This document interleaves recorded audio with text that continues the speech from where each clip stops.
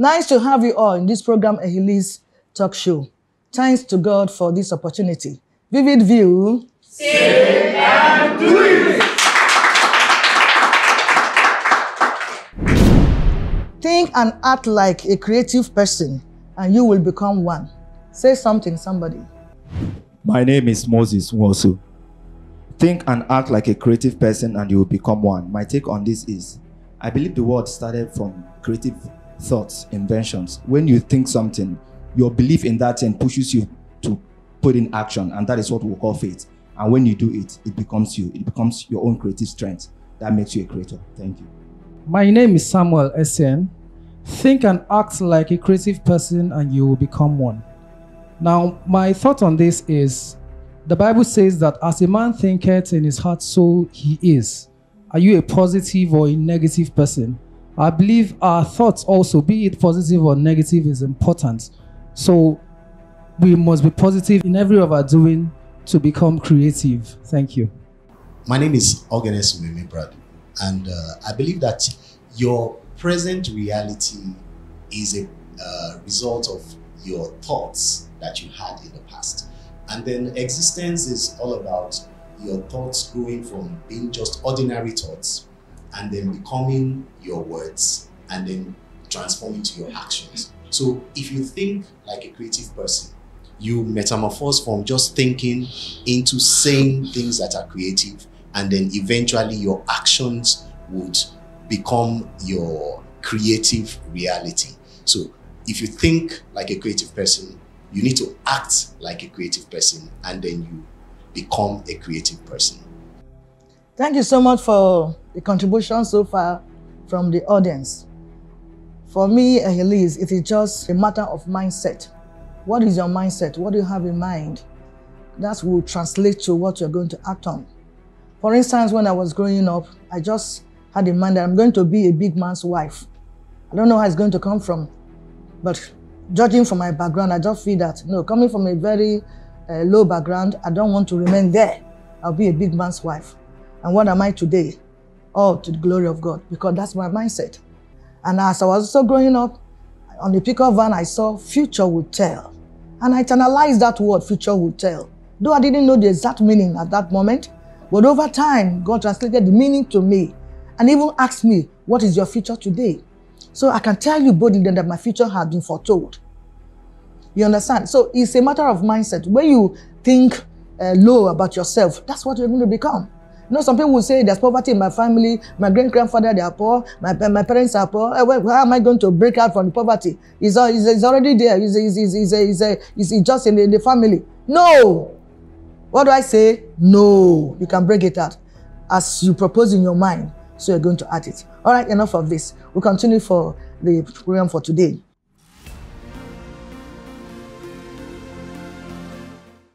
Over the years and even now, some individuals conclude in their mind without putting up a fight that they can never measure up with their colleagues in terms of achievement.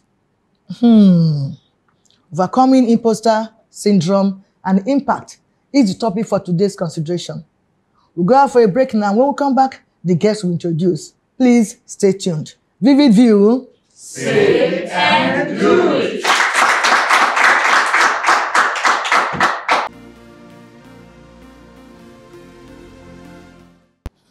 Welcome back.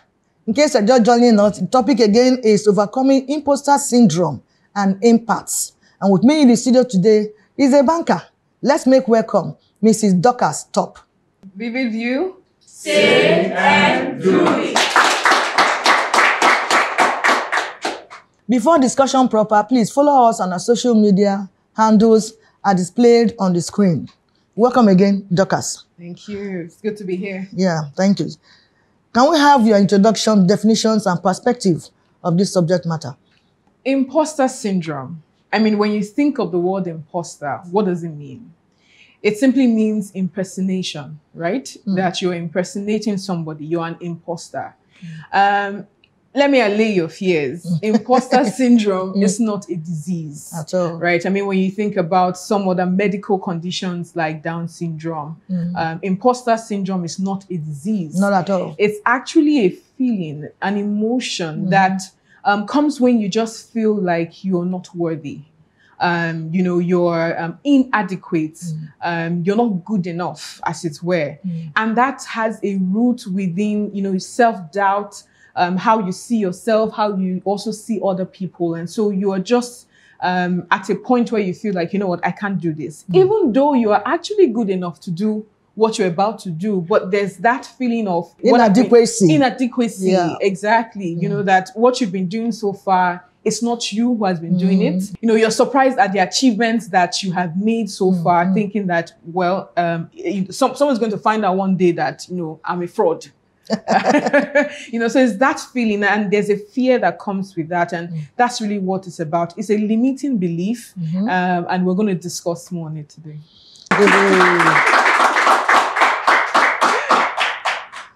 Now, this takes me to the next question. Who are more likely susceptible to experience imposter syndrome? Well, the experts say that you know 70% of people will experience imposter syndrome at least once in a lifetime. Um, for me, I think it's actually more than that. Um, mm. Just you know, think about yourself. Mm. Um, has there been time where you have been afraid to do something very important? Mm-hmm.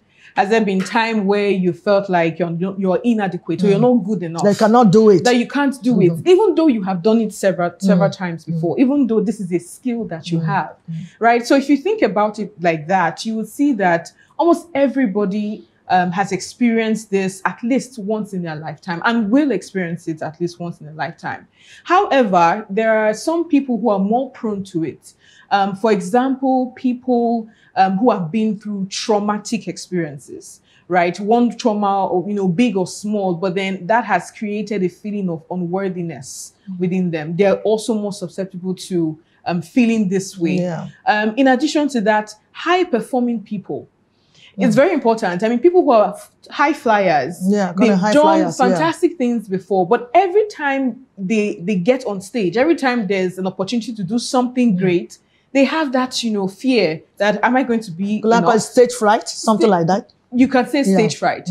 Um, you find that even when I mean performers, um, people in entertainment, Mm-hmm. public speakers who've done this over and over again would still at the point of getting on stage have that fear like am i going to be good at this point you know? So um, these are some of the people who would experience this more. And lastly i think that people who have very high expectations on them for example firstborns mm-hmm. mm-hmm. right? You know that firstborns have this expectation of you have to be great you have to you know mm. lead the family. Especially male. male When it's a- children, Yeah. right? So mm. high expectations, leaders mm. um, tend to always, you know, fear and, and have that feeling like I would not be able to deliver. You know, I won't be able to meet the expectations that, you know, are on me. So those are the people who would really experience it. But again, everybody at one point um, or the other have experienced that fear of I'm not good enough.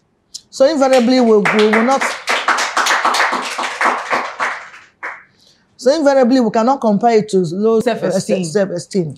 Um, can it be that? Can it be linked to that? Low yes, it self-esteem? can. It can. And you you would see that even the way to overcome imposter syndrome is quite similar to the way to overcome low self-esteem. Self- yeah. It's really about self-confidence, building confidence. Courage. Yeah, and courage. please. All right, thank you so much for that. We'll take a break. We'll come back. We'll continue. Vivid view. This